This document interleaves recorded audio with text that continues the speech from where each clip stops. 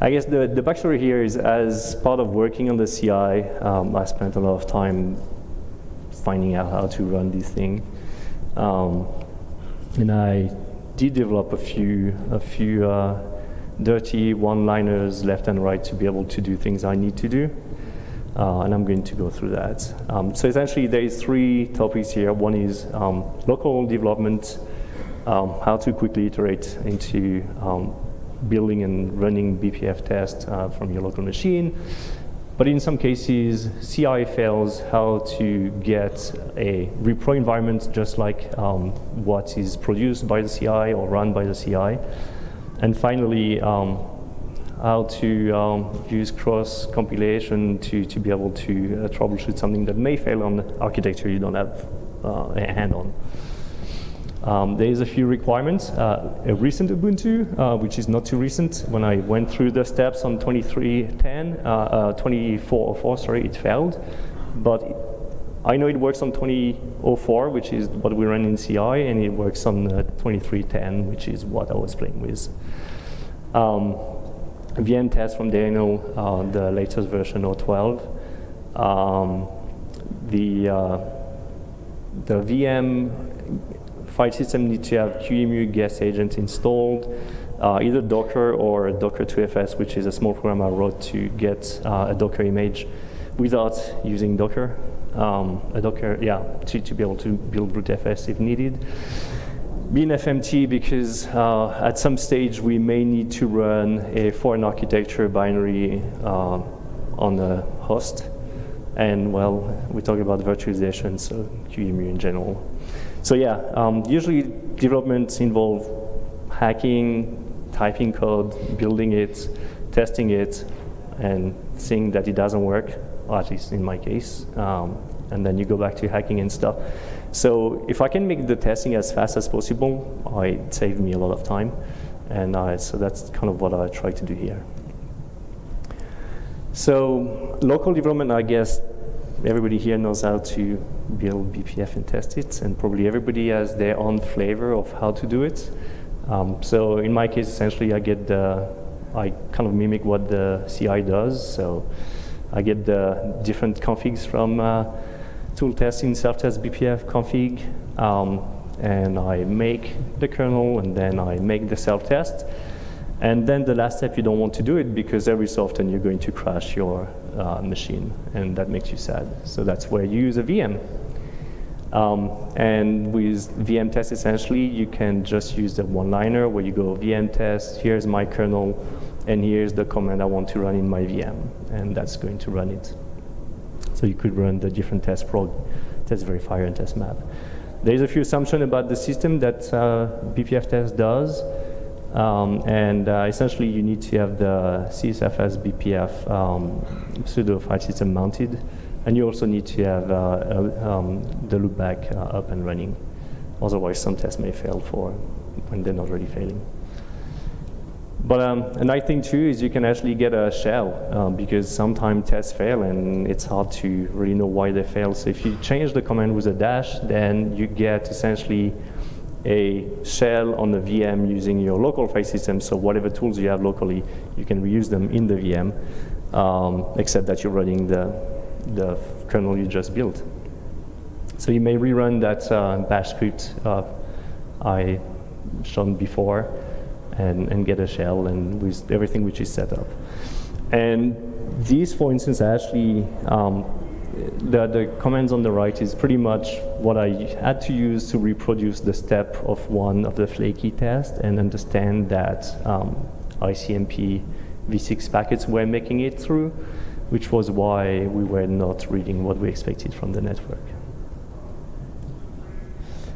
And uh, another nice trick is uh, sometimes you just need to iterate on the test. You don't need to rebuild the kernel every time. So you could essentially get um, uh, a shell prompt and run your test. And then if it doesn't work, you can modify the test, rebuild them, which is much, much faster than rebuilding your kernel in general and rerun them without having to go out of the VM. You're just already in the VM, and whatever you compile on the host is going to be exposed in the VM. So you can just like iterate quickly, like add print statements or whatever you want, uh, and then uh, eventually gets from a failing test to a successful test, or run whatever uh, BPF program in that destination kernel.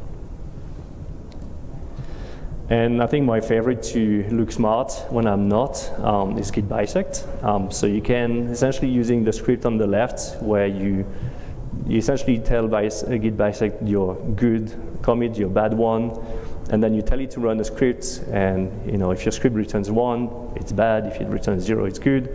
If it returns 125, it doesn't know. Um, so here, the, essentially in that script, you build the kernel, you build a self-test, and you run the repro you have, which is in this case running a specific test.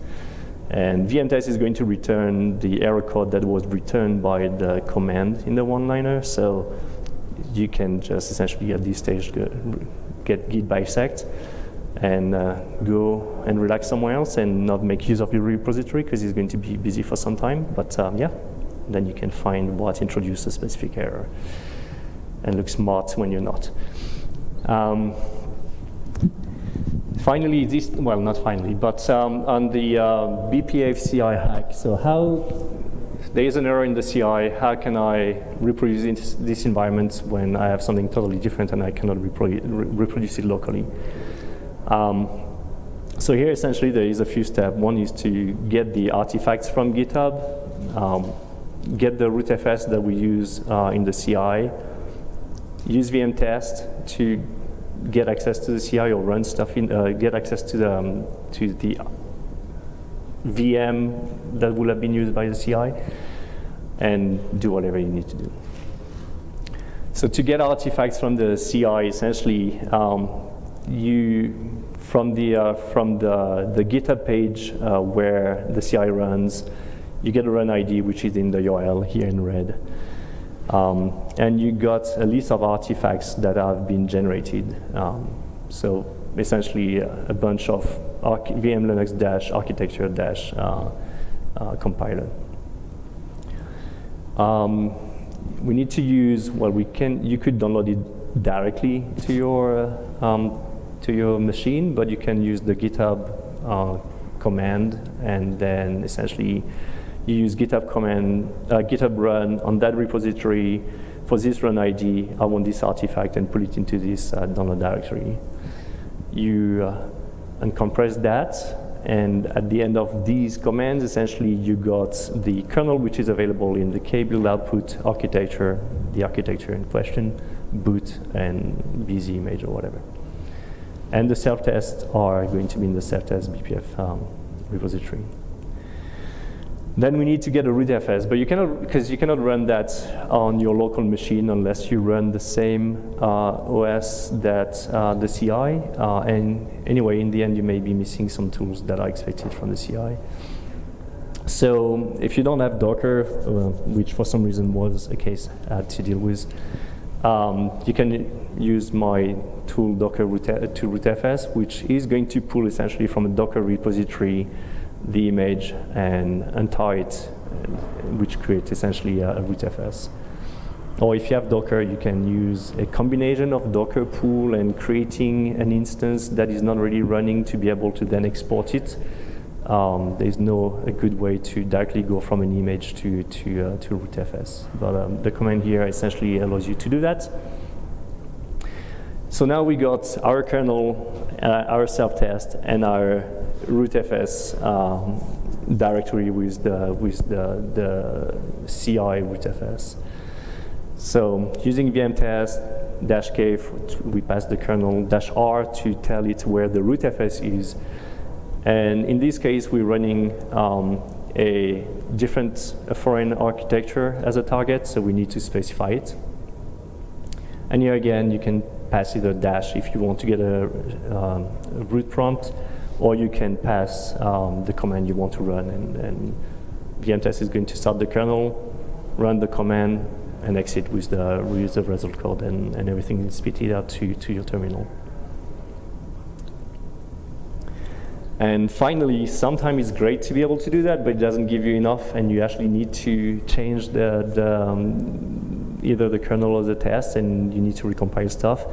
Um, so as much as when you get the artifact from the CI, you can reproduce, but you can't really if you need to recompile, you, you, need to, you need to do it yourself. Um, so to do that, every OS, I guess, um, have their own subtleties. Um, in the case of Debian-based, it's kind of pretty easy-ish to install libraries for foreign architectures. Um, so assuming Ubuntu, you add um, the repository definition, repository definition for the platform you want to compile for. You need to add this architecture to for DPKG to know about it, and then install those um, those uh, packages. So essentially, you want to install the GCC G++ tool chains for the architecture, and then we need to have libelf-dev, libssldev, and pkgconf for the destination architecture. Along with QEMU, use a static, which for Ubuntu does provide binfmt, I believe, um, and QEMU in general. And to build, um, you essentially need to specify, I guess the kbuild output is, um, is optional here. Um, my experience is don't use O equal as part of the make command um, because it I guess the definition of that variable is lost somewhere in the chain and, uh, and it will not uh, fully compile. But in this case, I'm creating, um, I'm, I'm telling, um, exporting kbuild output um, environment variable um, to uh, destination. I need to install that patch. Oh, sorry. Um, the, I need to. We need to patch the uh, the kernel um, the self-test makefile actually to be able to the, the issue here is like if we just cross-compile with that dispatch, we're going to use BPF tool of the host machine, which if you're running x86 is a different endianness than S390X, and is going to, when it goes to the step of BPF tools, uh, BTF dump, uh, it's going to create a vmlinux.h file for the wrong endianness. Um, so there is a one-line patch uh, to be applied. And then we go through the same process of building the kernel essentially with a few more um, to make. Um, set up the config for the, for the destination architecture, run MR, mrproper, I'm not really sure why, but that's a requirement. olddefconfig, all, and then the self-test. And then we need uh, a rootfs again uh, for the uh, destination architecture. Um, in general, every OS has a Docker image of, uh, of the distribution. So in this case, I'm pulling the um, essentially the Docker image from uh, from Ubuntu for for the version of my of my OS. Um, same here, either through Docker 2FS or or Docker. But then there's a few more subtleties there. These images are usually pretty bare. They have the very minimum, so not enough tool to actually be able to run the test. So you need to chroot into the into the uh, the rootfs and install uh, a few tools, a few utilities that, that are needed to to get the setup working. Um, and then we are back to essentially square one um, of testing. We've got our kernel, we got our rootfs, so we can run VM test pass on the kernel, pass the rootfs and, uh, and the architecture and, and run whichever command we need. Um, there is a link at the bottom. Essentially, as I was hacking on that, I took a few notes uh, that I uploaded to, uh, to GitHub. So if you go to chantra.github.io slash bpfci tools, there's essentially a list of three um, posts, which are which is what I've uh, been talking about um, now. As I went through the slides and as, as I made those slides, I realized that there's a fair amount of things which are not working just by copy pasting on the on on my GitHub repo. So I will update those um, sometime after uh, after the conference. But yeah, that's um, pretty much here to either quickly test locally or be able to run stuff that are failing the CI in the same environment, or be able to essentially cross run a kernel and test for an architecture that you don't necessarily have the uh, hands-on. happy to take any questions or comments. And uh, yes, this is very hacky. I got these workings uh, working. You know, I guess if people were interested in it, then you know it's worth putting the effort to it.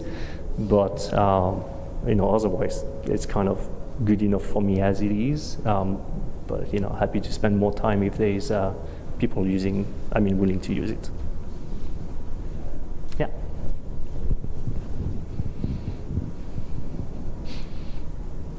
Any questions, comments? Do you plan to uh, push this to the kernel as documentation? I think it would be nice. It's probably Yeah. easier to find than. it was yeah I, I will need to spend more time on documenting it i think i spent more time documenting it through those slides than i did spend when i originally did it um, but yeah it was really like so far it was a brain dump on what i needed to run to be able to achieve whatever i wanted Yeah. um, and uh, it's uh, the, the main issue is there's still a lot of different individual steps that need to be done. But um, yeah, I guess I could try to spend more time and formalize. Uh, I got it in Markdown anyway because it's in GitHub, so it's pretty easy to export after. Mm. But I think, yeah, I mean, I'm just Or in thinking in, whatever. in particular around the S390, right? Like when they, when developers run into issues where the where it only fails on the S390 CI, so it would be useful to have these kind of steps so that they can. I mean, that's exactly the reason Yeah, why I yeah, spend time yeah. doing that because otherwise, that, yeah. Otherwise, it's quite hard. I agree. and also it's not trivial to do without investing time in the first place. Um, so yeah. Cool. Thank you very much. All right. Thanks.